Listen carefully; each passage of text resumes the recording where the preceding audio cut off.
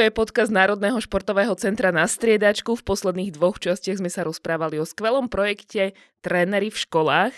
Riešili sme telesnú výchovu tých najmenších školákov, teda školákov na prvom stupni. No a tieto najbližšie dve časti podcastu na striedačku sa budeme rozprávať s trošku staršími športovcami, ale naozaj iba trošku. No a budeme sa rozprávať aj o tom, prečo si vybrali športy, ktoré na Slovensku nemajú 10 tisícové základne. No a môjim dnešným hostom je veslár Peter Strečanský. Peťo, vítaj.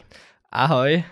Tak teším sa, že si tu, si člen Národného športového centra, takže si tu správne. Peťo, keď som začala tými, uh, tými trénermi v školách, tak spomen si, akú si mal telesnú výchovu ty na prvom stupni.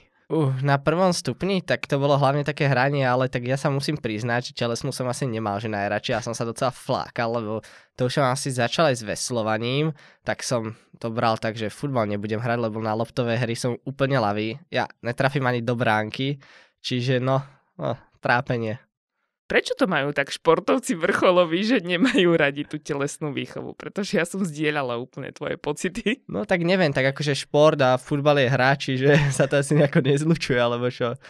No a začíname trošku aj patrať po tom, prečo si si vybral práve veslovanie, čiže OK, e, vyčlenili sme futbal, to je samozrejme na Slovensku šport s najväčšou mládežníckou základňou. E, potom tu máme hokej, každý chalan predsa chce byť hokejistom, tak prečo nie touto cestou si išiel? Mm, neviem, tak mne sa hokej asi nikdy nejako moc nepáčil, ale teda jasne, Slovensko to má tradíciu v tom, ale tak na korčuliach v polade tam korčulovať chvíľku, to tiež neviem, či ma bavilo a ja som dosela individualista, čiže uh, tímové hry, no Nemám moc rád. OK, tímové hry nie, takže ste začali hľadať nejakú inú alternatívu? Lebo ako si sa dostal k tomu veslovaniu? Tak to nebolo asi až tak o mne, lebo predsa len môj otec je tréner vo veslovaní, moja mama bola keakárka, čiže kam poslať dieťa a ešte keď je to blízko, tak voľba bola jasná. Voľba bola jasná. V koľkých rokoch? Už, tak ja už som sa tak skorej motal na Aldenicov. Ja som chodil s tátom, keď tam mával tréningy s dievčatami a potom som začal asi, ja neviem, jak sa začína, 11, 13, niečo medzi tým. Mm, čo dovtedy? No dovtedy som sa iba motal po svete, a tak. Po svete? Nie. Akože nemal som predtým asi žiadny šport, kružky nejaké škole, ale inak nie. Čiže v 11 rokoch si prišiel prvýkrát na tréning. V podstate áno. Ako to vyzeralo? Uh, to si pamätám, že to bola zima a u nás zime sa musí chodiť na takých trenažerov a tie nikto nemá rád, lebo to je, to je hovadina celé. A to som si tak myslel, že toto robiť dokola, tak to asi nebudem, ale tak pokračujem v tom, čiže asi to nebolo až tak zle. Dobre, čiže kam si prišiel? Popíš Pri... presne, ako to vyzeralo a čo znamená ten trenažer. Je to taký ten trenažer, ktorý poznáme aj z tých amerických filmov, kde e, každý úspešný človek má trenažer veslársky a po práci trénuje dve hodiny dolu niekde v pivnici. Áno, presne ten trenažer, to je taký stroj a na ňom je, ťahám ho a on ukazuje nejaké čísla. A no prišiel som do Piešťanskej lodenici, to je taká búda, trocha plesnivá, s lodí, tak sa mi to zapáčilo a hej, tam som vlastne začínal a veselujem tam aj doteraz. Ešte neviem si predstaviť, či 11-ročné dieťa baví takáto stereotypná činnosť na trenažeri, ešte ani nie, nie pri vode, takže naozaj to bolo iba o tom, že si si sadol a, a, a neviem, niekto aj riešil, či máš na to predpoklady, či nemáš na to predpoklady tak u nás je ten šport hrozne taký výkonnostný, čiže ten predpoklad nejaký talent pohybový, jasne, že sa tam prejavuje, ale je to taký šport, že sa dá hrozne vydreť. Čiže u nás sa až tak nerieši, či má niekto na to talent alebo nie, akože je vidno, že niekto je pohybovo nadaný alebo čo, ale až tak to nevadí, keby, že ako malý mu to nejde. Mne to tiež nešlo moc ako malému, lebo ja som bol malý, trocha som bol pribratejší a do letí som sa ledva zmestila, ale tak, no, ono sa to časom to príde, keď sa niekto chce obetovať tomu, no, čas. Ako vyzerali tie prvé tréningy? To ma zaujíma, pretože hovorí, že to bolo v zime, bol tam iba trenažér, no ja neviem, prvých 7 tréningov, ako vyzeral? No takisto, došiel som, išiel som na trenažér, odťahal som nejakých 45 minút a išiel som s nervami domov, že mi to nejde. Čo ti na tom nešlo? Ja neviem, ono to je také hrozná hlúposť, lebo to iba ťahám za šnúrku, ukazuje mi to čísla, nehybem sa, čiže nemám žiadny cieľ, kam sa dostať. A no, akože to celé sa zmenilo, keď som začal chodiť na vodu, ale to som si docela rýchlo obľúbil, lebo je to predsa len také zaujímavejšie, že som sám na loďke, môžem ísť kam chcem. a ten pohyb je taký zaujímavý hrozne. Mňa na tom veslovaní vždycky fascinovalo to, že vlastne celé telo musím nejako zosúľadiť a proste nie je to len také jednoduché na tú aj technickú, ani na tú vytrvalosť, na tú silovú stránku. No, aké sú predpoklady na to, aby si bol dobrý veslár, pretože vravíš, že to na začiatku nie je až také prísne, no. že nemusíš byť nejako pohybovo nadaný, ale predsa len tesne pred štartom sme sa rozprávali o tom, že ja by som bola napríklad do dobrá veslárka vzhľadom na tú výšku 180 cm. Čiže aké sú predpoklady na to, aby si bol úspešný veslár? Tak predpoklady sú vlastne, že aby niekto bol uh, najlepšie mať cez 2 metre, VO2 max C70 a byť docela svalnatý, ale zároveň atletický, proste taký nadčlovek. Keď sa pozrite aj na majstrovstva sveta, tak tá tých mužoch, to, čo je tá olimpijská disciplína, vlastne tí ťažké váhy, tak to sú všetko chlapi, čo majú 2 metre, uh, 90 kg svaloviny a všetci sú neskutočne na tom výkonnostne. Mm. Každý povie, že kto má už na 2 metre, tak musí hrať basketbal alebo volejbal, tak to tak nie je. Ako si vnímal ty, keď si sadol prvýkrát do lode? Rozmýšľal si o tom, že budem raz možno olimpionikom, že by som chcel dostať to veslovanie na olympijské hry, pretože predsa len, ak si to napríklad porovnáme s vodným slalomom, tak viem si predstaviť, že niekto, kto začína s vodným slalomom, aj tam je to väčšinou rodinná uh, nejaká udalosť, že ja som bol vodný slalomár, tak aj moje dieťa bude vodný slalomár. Ale viem si predstaviť, že tie deti vidia tých športovcov, ktorí priniesli z olympijských hier medaily a, a má to takú tú olympijskú tradíciu. Ale aké myšlienky si mal ty pri veslovaní? Uh, no tak u nás nie sú nejaké takéto vzory, že by niekto priniesol medailu z Olympiády. Skôr je to také, že idete na to veslovanie s tým, že chcete to zmeniť a chcete to, tomu veslovaniu pomôcť. Tak ono to není jednoduché, ale keď musíte aj ja napríklad musím veľa s tými deťmi, aj keď sú tam nejaké nové robiť a celkovo, že podľa mňa to je také, že je dobré, keď má ten šport nejaké takéto športové eh, idoly alebo čo, lebo je to také, že to dieťa to hrozne motivuje. Ale tak vo veslovaní takéto niečo nebolo, čiže akože máme medailistu, ako je Lukáš Babač, ktorý mal z majstrovstiev sveta. Striebornú medailu, áno. Áno, aj uh, náš vlastne predseda zväzu Jan Žižka bol na dvoch olympiádach, ale tak to sú stále také, že dokým není tá medaila, na Slovensku ten šport moc, no to nepreslaví, len účasť na olympijských hrách. A vždycky to na tom jednotlivcovi, aby to nejako zmenilo. A celkovo náš šport je hlavne postavený na tých jednotlivcov, lebo predsa len zo svetového hľadiska je veslovanie hlavne povedzme, že každý asi napadne taký ten závod Oxford, Cambridge, čo mávajú vysoké školy, lebo ono to je hlavne univerzitný šport a on to extrémne súvisí v krajinách ako je Anglicko, Amerika, uh, Holandsko s, tým, s tými univerzitami. A tam je to dôležité, len u nás to nejako takto nefunguje, čiže no je to na jednotlivcoch postavené celé. Bavíme sa o jednotlivcoch aj keď sa rozprávame o tej základni, pretože sme sa o tom trošku rozprávali, že koľko vás vlastne je na Slovensku? Tak asi každého poznám po mene, čiže nie je to až také veľké číslo, ale akože máme, uh, musím rýchlo zrátať, raz, dva, tri, štyri, 5 klubov a v každom klube je možno, neviem, 50 členov, niektorých menej, s tým, že chýbajú nám docela aj tréneri, lebo predsa len keď nemá ten šport také zázemie, tak ani tí tréneri neprídu z toho prostredia, alebo málo kto sa chce k tomu vrátiť a tráviť čas s tými deťmi alebo čo, čiže aj z tohto hľadiska to je docela zložité, ale vždycky to u nás bolo tak, že skorej, než uh, by vyšlo viacej ľudí, tak vždycky vyjde jeden a ten sa nejako, no, povedzme každých 10 rokov vyjde nejaký talent, ktorý donesie tie medaile. Je dôležitá v tomto športe konkurencia?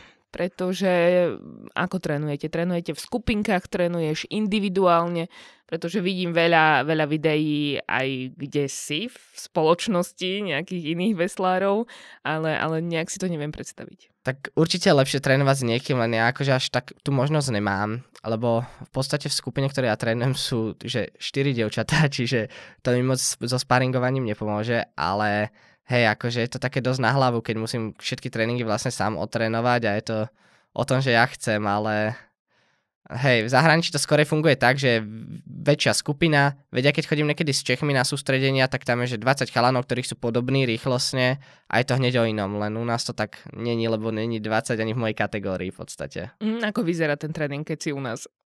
Keď som u nás doma? Mm-hmm. Tak no, tak tréning vyzerá, že ráno musím stať o 5, aby som si ho pred školu ísť na bicykel do posilovne. Potom som v škole takých 6-7 hodín, 8 odídem trocha skorej, aby ste to nevšimli. A potom mám poobedný tréning, čo býva buď tá voda, alebo ten trenážer v zime, ale už som rád, že sa vracame na vodu, lebo už sa oteplejva. A vlastne to je stále to isté dokola. Taký kolotoč. O čom rozmýšľaš, keď si sám na vode? Uh, koľko ešte metrov? Ešte dám 1 meter, ešte spravím 10 metrov a teraz mám 20 km, som spokojný, idem naspäť. Aha, čiže 20 km to je taký tréning? No ako kedy, veď teraz je taká fáza, že sa snažíme čo najviac najazdiť, lebo zvyknúť si na tú loď zase. Po tej zime lodi vždycky sa trocha stráca taký ten cit a tá rovnováha, ale hej, v podstate áno. Už si absolvoval prvé sústredenie? Áno, akurát som sa vrátil tento týždeň z Chorvátska, eh, kde som sa vlastne sústredil na to, aby som čo najviac kilometrov najazdil a o dva týždne idem do Talianska, čiže nejak dlho si nepobudnem na Slovensku. Mm, čiže ten kontakt s vodou bude. Dobre, keď sme sa rozprávali o tom, aké si mal ciele, keď si prvýkrát možno sadol do lode, a tak e, to bolo zmeniť, zmeniť v úvodzovkách tie úspechy veslovania, aby, aby si sa dostal možno aj na olympijské hry. A teraz poďme k obdobiu, keď sa ti ten čiastkový cieľ aj podaril a prišla prvá medaila e, z mládežníckých šampionátov. Aké to bolo?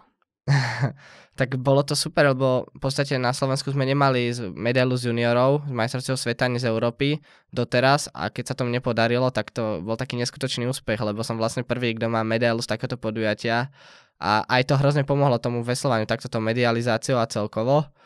A mňa to namotivovalo ďalej v tom pokračovať. A ešte, ako je veslovanie univerzitný šport, tak sa mi veľa škôl začalo ozývať a tak, čiže hej, má to svoje čaro.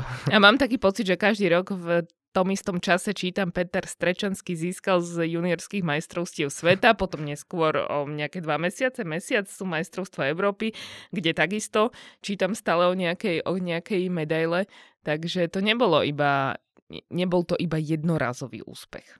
No, nebolo to šťastie, lebo predsa len t- ten rok, keď som mal prvú medailu, som išiel hla- o 3 týždne na majstrovstva Európy do 20 rokov, kde som mal tiež medailu a o rok vlastne zase som mal tretie miesto z majstrovstiev Európy juniorov a majstrovstiev sveta juniorov. A celko aj v tých seniorských kategóriách sa mi začalo dariť, ale tak u nás vo zväze tiež veľa ľudí nepresvedčím o tom, že to není náhoda.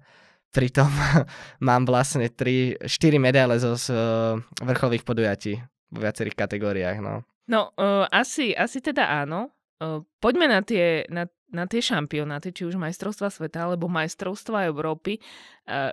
Kde je tá svetová špička v tej uh, kategórii? Uh, o čo sme my horší, ako, ako je tá špička?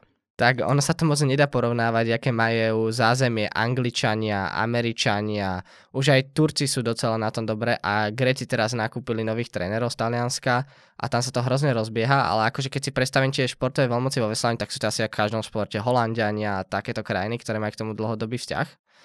A no ono sa to moc, aj celkovo tým materiálom sa to nedá porovnávať, lebo oni mávajú každý rok nové lode, sústredenia mávajú oveľa väčšie a plus aj tam tá konkurencie na tom domácom poli, že proste majú s kým trénovať a majú tie skúsenosti aj tí tréneri, aj tí zverenci proste po tých sústredenia také, že nám sa, nám sa ľahko na to pozerá s obdivom, ale tak dosiahnuť niečo podobné bolo na Slovensku asi nemožné, jak to majú v tých ostatných krajinách. Ten prechod e, z mládežníckej do seniorskej kategórie, e, už si nad tým rozmýšľal? Tak ja vlastne už mám aj viacej ano. pretekov mm. za seniorov odjazdených, čiže uh, už som, poznám veľa superov, lebo už aj minulý rok som jazdil svetové poháre za seniorov, čiže za tú dospelú kategóriu a tento rok som prvýkrát 23, do 23 rokov, čo je docela zmena, ale už mám medailu z Európy, čiže nebude to až také iné a veľa chalanov som na nich už bol dosť pretekov, čiže zase není to nejaké obrovské halo alebo čo, že by som teraz mal nad tým rozmýšľať, že to bude v niečom iné. Stále to bude o tom istom. Tak hovorí, že zmena, zmena v čom? Celkovo, že tie preteky budú v ino- iných časoch, jak bývali v junioroch a pridá sa mi viacej pretekov, lebo v senioroch sú tam už aj tie svetové poháre a majstrovstva Sveta Európy, čiže sa mi pridá vlastne tri vrcholové podujatia, ktoré sú tie svetové poháre. Uh, a a keď, keď nad tým tak rozmýšľaš, čiže chceš ostať pri veslovaní aj, aj ďalej? Uf, tak to je taká zložitá otázka, ale uvidím, jak to pôjde, lebo tak uh, zatiaľ som na strednej škole, čiže mám v podstate docela dobré zázemie na toto robiť, a, ale tak o dva roky by som mali ísť na vysokú. Uvidí sa, či sa mi podarí ísť do zahraničia vďaka veslovaniu, aj podľa toho to vlastne celé bude. A ešte, že určite by som chcel zostať pri tom veslovaní, lebo tak je to šport, ktorý mám rád veľmi a naplňa ma to, ale tak možnosti budú také, aké budú, tak uvidíme. Tak vravel si, že sa ti už ozvali aj nejaké vysoké školy, tak nejaká zaujímavá ponuka, ktorá by prišla, ktorá by ti dala tú možnosť, aby si v tom pokračoval. Tak áno, akože píšem si s viacerými trénermi, aj napríklad z Harvardu, z Kolumbie, ale tak to je ešte v takom konaní, že ja som vlastne ešte mladý, lebo sa rieši až o rok a musím si tam učiť sa na tie ich testy a čas mi to bere, ale inak v poriadku. No uvidíme, ak to celé dopadne. Ja som sám zvedavý, lebo ja som taký, že nerad hovorím dopredu, predtým, než sa niečo stane, ale tak bol by som rád, keby niečo takéto vyšlo a dalo mi to aj tu možnosť stále pokračovať v tom veslovaní.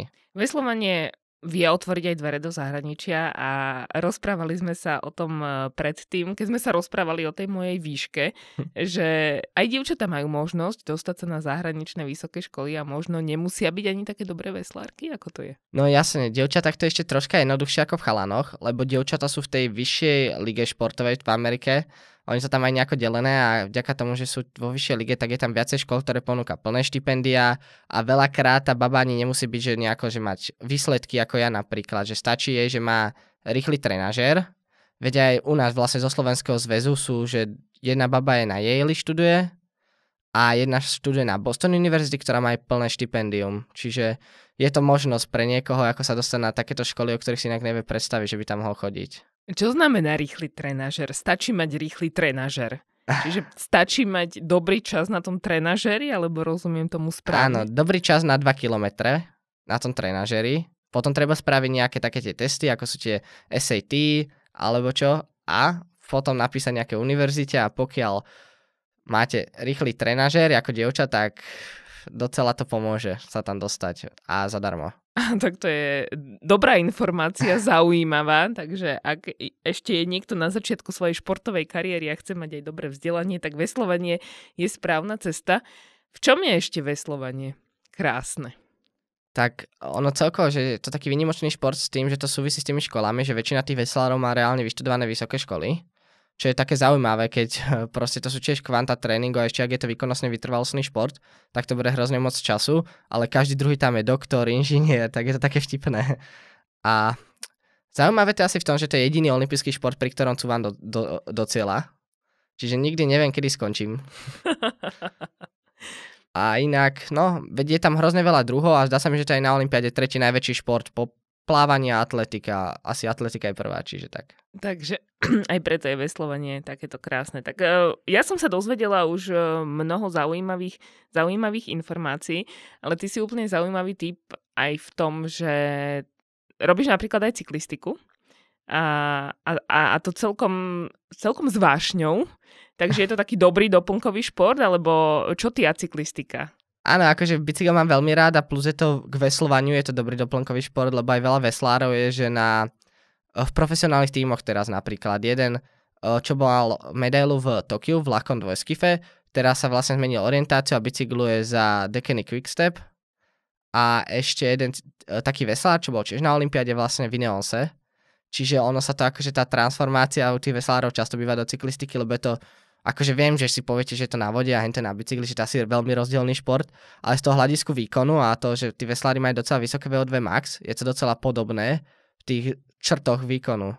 Čiže rozmýšľaš aj nad podobnou cestou, ak to s tým veslovaním nevidia, alebo na akej úrovni si, ako, ako môžeme opísať e, tie tvoje cyklistické výkony? No tak akože veď bicyklem hlavne ako doplnok. Nemávam tam nejaké rýchle tréningy ani nič, občas nejaké amatérske preteky, ale mám to veľmi rád, áno. Akože ja som už rozmýšľal, že možno po veslovaní by som skúsil triatlon alebo cyklistiku. Predsa len ten triatlon asi ľahšie ako cyklistika, čiže mi to napadlo ako lepší nápad. A, ale tak uvidíme, ak to pôjde, no. A beh? Beh mi ide tiež docela a občas aj zúčastňujem bežeckých pretekov. Teda, no, ja sa snažím byť taký docela multišportový v tomto, lebo tak ono to dosť pomáha aj s tým veslárským výkonom. Sa to zdá, ale to všetko súvisí od seba. Predsa len ten beh je taký základný motorický, motorický pohyb, vďaka ktorému tiež viem zrýchliť sa na vode, čiže tak. Mm, a bol si niekde v zahraničí, videla som to na tvojom Instagrame, e, niekde vo veľmi teplej krajine. Áno, bol som v Dubaji a, a mal som v pláne tam bežať také preteky, len som ochorel, čiže som zostal v postielke. Mm. E, pred e, dvomi dňami sme sa stretli na športovej kvapke krvi. Bol si darovať prvýkrát. prvýkrát krv, takže, takže asi v dobrej zdravotnej kondícii si aktuálne. Áno, tak som športovec a asi to je chcené, aby som bol v dobrej zdravotnej kondícii, ale áno, bol som rád, že sme sa zúčastnili tej akcie, lebo je to podľa mňa super niekomu darovať krv, pokiaľ proste mám kvapalinu, ktorú mám navyše a rýchlo sa mi obnoví, ale tak hej, No, tak po, porozprávaj nám o tom, pretože si, ja som sa smiala, že si sa na to pripravoval tak viac menej mentálne. Bol si jeden z malá športovcov, ktorí ešte stále športujú a prišiel si, pretože to darovanie krvi nie je úplne jednoduché, pretože nesmieš byť v zahraničí pred tým, ako v nejakom ďalekom zahraničí a nesmieš byť ani, ani nejakým spôsobom na začiatku nejakej choroby, čo teraz je veľmi ľahké, eh, že môžeš ochorieť. A napokon si bol jeden z tých, ktorí to zvládli a mohol darovať tú krv. Ja som napríklad nebola úspešná, pretože mňa začalo škrabať v hrdle a to je, to je nezlúčiteľné s darovaním krvi. Takže aký to bol zážitok? Tak podľa mňa to bolo super. Ja som sa už dlhšie rozmýšľal, že pôjdem darovať krv pre nejakú takúto vec, lebo podľa mňa to príde ako dobrý nápad niekomu takto pomôcť. A veď príprava bola mentálna si z toho hľadiska, že no moc som na tým nemusel špekulovať. Do zahraničia sme teraz neboli nejako ďaleko a keď mi vlastne z Národného športového centra došlo, že môžem dojsť, tak som išiel a Veď bol som spokojný. Troška som sa bál toho, že predsa len, keď mi zoberú pol litra krvi, čo to bude ale inak to bolo v celé v poriadku a nelutujem, že som bol. No vidíš, a už ani nevieš, že si bol, pretože taká tá možno chvíľková slabosť to, to veľmi rýchlo prejde. A nehovorím to náhodou, snažím sa aj divakom a poslucháčom opísať teba ako veľmi akčný typ, ktorý sa zapája do takých tých rôznych akcií, už asi aj diváci a posluchači e, zachytili, že si veľmi, veľmi výrečný. Asi taký ten typ mladého človeka, športovca, ktorého zaujímajú aj rôzne spoločenské témy, že už aj na základe toho, ako si rozprával o tých vysokých školách, s akou vášňou si rozprával o vzdelaní, tak, tak si takáto osobnosť, ktorá sa nesústredí iba na ten šport a na tie čísla a na ten výkon. Je to tak? Asi áno, lebo predsa len tak voľného času mám veľa, teda no, ča, ťažko sa to povie, ale zaujíma ma veľa vecí a rád čítam, čiže mám veľa koničkov takýchto aj pomimo veslovaniu, vďaka ktorým mám veľa informácií o veľa veciach a rád som taký hrozne aktívny, aj v škole sa vždycky hlásim a zaujímajú ma, veľa otázok vždy mám. No, to viem, že musíš byť obľúbený v triede. No, to, to áno. Áno? Aj, učiteľka má niekedy také nervy, lebo dojdem, ja mám, buď mám dve nálady, že buď som hrozne unavený, že dojdem po nejakom sústredení, že zaspím v škole, alebo som tak urečený, že nikoho nepustím k slovu a musia ma toto korigovať. Sú to otázky týkajúce sa vzdelávania? Všetkého možného. Ako napríklad? Tak. Ktorý predmet ťa baví najviac? Najviac v škole ma asi začala teraz baviť matematika a neviem, tak ja mám rada aj slovenčinu, aj keď neviem písať vôbec, ani tráfať meké tvrdé i, to mi vôbec nejde, ale inak mám asi všetko rád, lebo proste ja tam dojdem pomedzi tie preteky alebo tréningy, sústredenia, si tam rád chodím posedieť, keď tak napočúva niečo Čiže nešťazujem sa na to. Posedieť si do školy uh, v škole medzi pretekmi je veľmi fajn. Teraz sa natíska taká otázka, že, že aké známky teda máš, keď si chodíš posedieť uh, do školy? tak moje polročné vysvedčenie tento rok som mal samé jednotky, čiže mm. není som ani hlúpy. čiže tak prirodzene to ale ide. S tým športom, to vzdelanie. Áno, akože je to veľa času strávený nad všetkým, ale dá sa to, keď niekto chce. Čo čítaš? Teraz? Mm-hmm. Teraz mám rozčítanú knižku, zdá sa mi, že niečo o astrofyzike, ale názov už netrafím. Vedecká publikácia? Alebo... Nie, naučná, uh, jak je to, uh, publisticko-naučná, alebo jak sa volá ten žáner? Populárno-naučná, Populárno, alebo také, také niečo, takéto áno. niečo. Wow. A, a, a, a niečo ľahšieho formátu. O, tak predtým som čítal niečo, som mal, som si kúpil v Amerike, keď som bol na pretekoch v, na Harvarde, v obchode som si kúpil knižku o empatii, tu som dočítal predtým, to bola od Stanfordského profesora a docela sa mi páčila, čiže hej, aj žánre čítam hociaké. čiže opäť nie žiadne, žiadne severské krímy, ale, ale niečo, čo ťa osobnostne rozvíja. Aspoň tak, ja tam mám taký pocit. Asi áno, tak ja som nikdy nemal rád ani načítanie, že nejaké knižky, ktoré sú že sci-fi alebo krímy, ale tak niečo, mám taký pocit že nič mi to nedá, keď to prečítam, že proste maximálne dobrý pocit na duši, ale tak z toho sa nenajem, čiže... Ešte nepotrebuješ asi vypnúť hlavu. Asi nie. mnohé športy bojujú s tou infraštruktúrou a a uh, ako vnímaš to, keď sa rozpráva o tom, že e, je ťažký konkurenčný boj, pretože máme veľa športov, tie deti si môžu vybrať e, šport naozaj, ktorý sa im páči. Či už hovoríme o tých nových športoch, ako no florbal už nie je nový šport, ale bola tu veľká kampaň na to, aby, aby decka na školách hrali florbal, že, že je to ťažké aj čo sa týka toho konkurenčného boja. No akože podľa mňa dosť chýba také niečo, ak je v zahraničí, s tým, s tým, že ten šport je už na tých stredných školách nejako spravený tak, že to dieťa proste není tlačené na nejaký šport a že to súvisí s tým školstvom, lebo to dosť pomáha aj vybudovanie tých športovcov s tým, že vlastne dokážu študovať a učiť sa. E, športovať. Mm-hmm. Čiže podľa mňa by som to nejako lepšie začlenil do, do, do školstva, aby to lepšie fungovalo, lebo predsa len to dieťa, jak má vedieť v nízkom uh, má, keď má málo rokov, že aký športu sa chce venovať. Nie? Že strácame tam podľa mňa veľa talentov tým, že zamierame dieťa na jeden šport.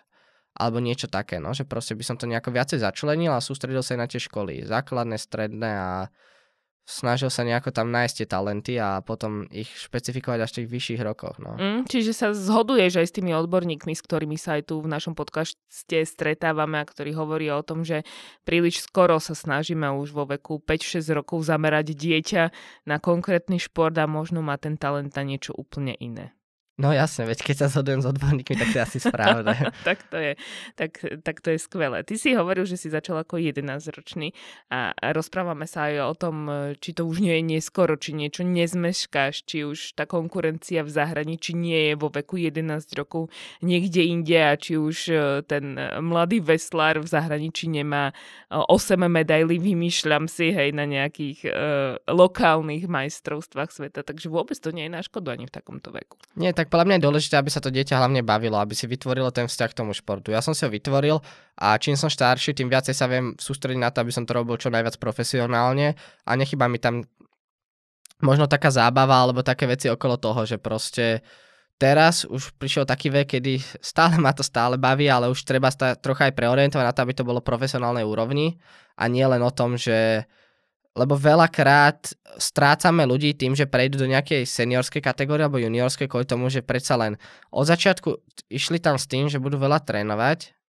alebo že nejako sa tam vytratil ten zábava a podľa mňa pre tie dieťa je hlavné to, aby ten šport bol nejakou hrou robený, alebo proste, že aby ich dokázal u nich nejako vybudovať nadchnutie pre ten šport, aby sme ich potom nestratili vo vyššom veku. Mm, tá emocionálna väzba tomu športu, keď si ju vytvoríš, ja neviem, napríklad do nejakých 15-16 e, rokov a potom, keď aj ten šport začne bolieť a začnú byť tie tréningy tvrdšie, tak si spomenieš na tú väzbu, pretože áno, potom je veľmi ľahké povedať, ja končím, mám tu e, iné záujmy, e, svoje záujmy, ktoré nesúvisia so športom, čiže asi takto nejako to máme chápať? Áno, no že proste radšej by som začal s tým, že vybudujem fakt, že lásku pre ten šport tých detí a nie, že ich budem hm, zbytočne mučiť tréningami, keď to ešte není potrebné a celkovo aj z toho výkonnostného hľadiska, veď je, keď malé dieťa trénujem s ním, tak ho maximálne viem pretrénovať. Predsa len musím sa sústrediť na to, aby vydržalo čo najdlhšie v tom športe a chcelo to robiť aj potom, keď už prejdeme do nejakej dospeláckej kategórie alebo juniorskej, kde už vlastne jedná sa o niečo. Nemal si fázy, keď si presne takéto niečo pocitoval? Ja... Veľa tréningu, náročné, ťažké, radšej by som robil niečo iné. Ja asi ani nie, lebo predsa len tréningy som veľakrát trénujem navyše kvôli tomu, že ja chcem a vlastne celé to není nejako moc postavené u nás tým, že tréner mi napíše tréningy, ale snažím sa, že čo najviac robiť preto a samostatne, čiže hej, čiže je to také skore, že každý meter, ktorý si odídem, je pre mňa dobrý, čiže mám asi takýto pohľad na to. Čiže ty sám nepotrebuješ nejakú vnútornú motiváciu. Nikdy si ju nestratil. To nie, no. Ja sa snažím byť vo všetkom vlastne, čo robím najlepší a pokiaľ to ide, tak obetujem tomu všetko, no. O, očakávaš to aj od tvojho okolia? Si potom náročný na to svoje okolie? Ani nie, asi ja to berem tak, že je to môj život, alebo ak to povedať, že nesnažím sa až tak tlačiť, ale akože jasne, veď keď k nám dojde do Oldenice niekto a má talent, tak mi je ľúto, keď ten talent premrhá, alebo čo, keď viem, že proste by sa bol by dobrý v tom, ale nesnažím sa na nikoho asi tlačiť alebo nejako ho nútiť. Maximálne môjho otca, ktorý je môj trénerom a viacej študoval. Motivuješ ho ty, aby viacej študoval. To je super, keď je to také obojstranné. E, počúvam ťa tak a ja neviem, že či ty v budúcnosti nebudeš v tých e, funkciách, alebo napríklad e, v tej trénerskej pozícii, či takto ďaleko vo svojich myšlienkach už nie si. Keď si už naznačil, že snažíš sa aj tým mladším alebo tým, ktorí sú okolo teba trošku pomôcť. No tak podľa mňa je to taká samozrejmosť, že keď už mám tie skúsenosti v tom športe a predsa len pre tie deti niektoré sa majú motiváciou, lebo mám tie úspechy, čiže sa snažím to aj odovzdať okoliu, predsa len ja som to tiež nedostal všetko zadarmo a snažím sa pomôcť ostatným, keď vidím, že im môžem nejakú radu dať alebo čo, tak dúfam, že to pomáha. No. Aké sú tie teraz možno tie krátkodobé ciele, ktoré, ktoré chceš v tej najbližšej sezóne, začínaš na vode, čiže už sa to postupne bude, bude stupňovať, bude, e, prídu aj ostré štarty, tak čo chceš v tej najbližšej sezóne dosiahnuť? Uf, no tak táto sezóna je vlastne olimpijská, čiže mm. bude docela ťažká, lebo máme v pláne sa aj zúčastniť olimpijské do kvalifikácie, ktorá bude v Maďarsku. O mesiac sa mi zdá a No uvidíme, ono to je zložité kvalifikovať za tých ťažkých mužov predsa v kategóriách, ktoré som ja, ale tak možno zafúka vietor, oni sa vykúpujú, ja dojdem do cieľa prvý a budem šťastný. A potom máme ešte vlastne, na, taký najdôležitejší vrchol tejto sezóny budú tie majstrovstvá sveta, ktoré sú v Kanade do 20 rokov, ale to sa troška aj bojím, lebo je to ďaleko, ešte som tak ďaleko nebol na pretekoch s tým, že by som tam musel podať nejaký takýto výsledok, že na vrcholom podujatí a nebudem tam ani svoju loď, čiže a, uvidíme, ak to celé dopadne, ale akože budem robiť preto maximum, aby som mal najlepší výsledok, ale bude tam hrozne veľa premených, ktorých ja neviem ovplyvniť. A to nemám rád, keď niečo neviem ovplyvniť, no. Čo znamená, že ne, a nebudeš mať svoju loď asi z tých logistických dôvodov? Mm-hmm. Lebo to je v Kanade a vlastne ho tam nemám ako dostať, čiže mm. tak. Mm, a to je zaujímavé, pretože napríklad niekto by ani do cudzej lode nenasadol. No áno, ale tak ja sa teraz aj snažím, že si striedam lode, mm-hmm. keď sa dá, aby som si nejako zvykol na ten pocit, lebo predsa len tak, každá lode je iná. A keď mám na jednej náveslovaných 3000-4000 km, tak to hneď cíti, že je tam niečo iné. Aj keď tá loď je rovnaký typ, model, ale je to niečo iné, lebo je to ručne robené veľakrát a eh, veľakrát na mieru, takže hej, takže ďalšia skúsenosť, svetový šampionát uh, v zámorí, čiže iný režim, iné nastavenie, uvidíš, čo, z toho, uh, čo si z toho vezmeš. Kedy uvidíme Petra Strečanského pod piatimi kruhmi? Uh, tak to je ťažká otázka, ale no tak akože asi ako každý športovec je to môjim veľkým snom a budem robiť preto maximum, ale tak to je hrozne do budúcna, ale tak ako vravím, možno tento rok motika vystreli. V Paríži som už pretekal, čiže to tam poznám a oh, ale tak bude to veľa snahy a tréningov. Tak budeme držať palce, budeme to pozorne sledovať. Eh, ak by sa ti to podarilo, tak to bude naozaj veľmi skvelé a želáme ti, nech sa ti to podarí. Taký záverečný odkaz pre decka, ktoré možno začínajú teraz s veslovaním, čo je dôležité, aby aj o 10 rokov možno pri veslovaní boli. No tak hlavne by som odkázal si všetkým to, že ten šport je hlavne zábava a musím si to užívať. Nemôžem sa len sústrediť na tie preteky, ale pre mňa musí byť zábava ten tréning a všetky tie veci okolo. A tie výsledky, aj keď zo začiatku tam nemusia byť, tak oni časom prídu, keď niekto je vytrvalý a snaží sa obetovať tomu veľa, tak ono to vždy príde. Aj keď sa to zdá byť nemožné, tak ono to dojde raz. Tak hovorí Peter Strečanský, Peťo, držíme palce a želáme veľa zábavy na vode. Ďakujem. Počúvali ste podcast Národného športového centra na striedačku. O dva týždne sme tu s podobnou témou opäť.